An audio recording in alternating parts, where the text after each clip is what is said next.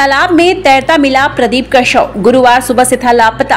सारठ संवाददाता शुभम सिंह की रिपोर्ट। सारठ थाना क्षेत्र के सारठ काली पोखर में आज सुबह तैरता हुआ मिला 55 वर्षीय प्रदीप राउत का शव घटना के संबंध में बताया गया कि प्रदीप गुरुवार सुबह लगभग पाँच बजे सारठ देवघर मुख्य पथ पर भारतीय स्टेट बैंक के सामने स्थित काली पोखर नहाने निकला था। उसकी घंटों बाद घर नहीं आने पर परिजनों ने चिंता ज़ाहिर करते हुए तालाब के पास आकर खोजबीन की तो तालाब के किनारे उसका गमछा, टार्च एवं चप्पल मिला।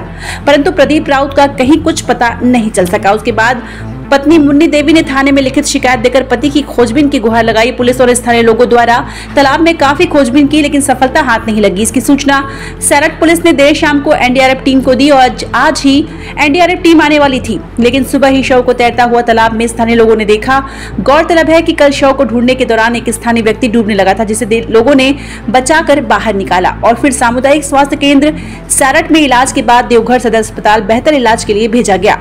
वहाँ इलाज के उपरांत उसकी स्थिति खतरे से बाहर बताई गई। पुलिस ने स्थानीय लोगों की मदद से प्रदीप के शव को बाहर निकाला एवं पुलिस ने शव को कब्जे में लेकर पोस्टमार्टम के लिए दो घर भेज दिया। वही परिजनों का रो रो कर बुरा हाल है।